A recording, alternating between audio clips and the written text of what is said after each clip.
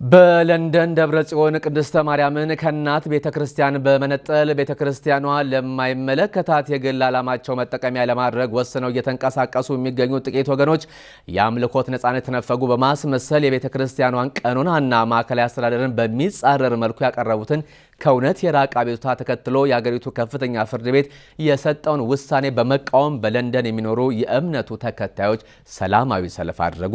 ውሳኔውን በመቃወም ሰልፍ የወጡት ምዕመናን ፍርድ ቤቱ በቤተ ክርስቲያኒቱ ሃይማኖትና ቀኖና ጉዳይ ገብቶ ያሳለፈውን ውሳኔ እንዲያነሳ ጠይቋል።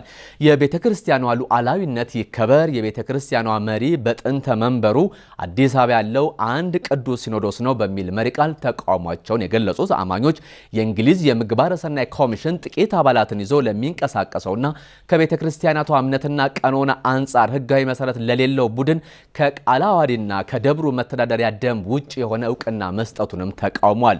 በቤተ ክርስቲያኗ ውስጥ የተለየ ዓላማ የያዙ ጥቂት አባላት የፈጠሩት ችግር የቤተ ክርስቲያኒቱን ሕግና ስርዓት በተከተለ ሰላማዊ መንገድ እንዲፈታ ላለፉት ሁለት ዓመታት በቅዱስ ሲኖዶስና በሀገረ ስብከቱ በኩል ከፍተኛ ጥረት ሲደረግ የቆየ ቢሆንም የእነዚህ ወገኖች አጀንዳ ከቤተ ክርስቲያኑ ዓላማ በእጅጉ የተለየ የፖለቲካ አጀንዳ በመሆኑ ሊሳካ እንዳልቻለ ገልጿል።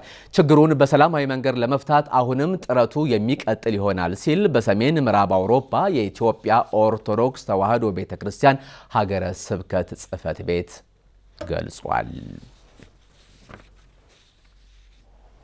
ይህ የኢትዮጵያ ብሮድካስቲንግ ኮርፖሬሽን ነው። ከውጭ ምንጮች ወዳገኘናቸው ዜናዎች